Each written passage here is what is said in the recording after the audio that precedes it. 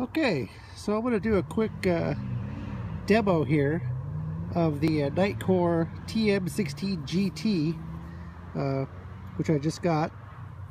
Uh, it's got fairly fresh batteries in it. Let's see here. Still blinking three, so it's it's it's full. All right, now the lowest setting is right here. Here's my dog my other dog out there. That's the lowest setting. We go up from there to the next highest setting. Pretty high. Another setting. Another one. And I believe this next one's turbo. Wow.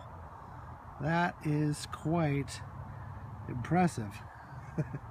As you can see, it shines a long ways. It's got plenty of light. No, uh, no need for the extra light here. Anyway, that is the uh, TM16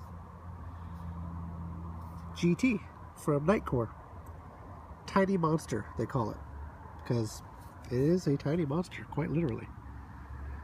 Here it is again, full power. Boom. I'd estimate that building is about 70 yards away.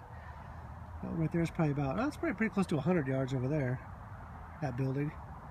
Uh, that tree over there is well over 100 yards. Uh, that building down there is probably about 100 yards. Yeah. It definitely uh, throws some serious light. Alright, that's it.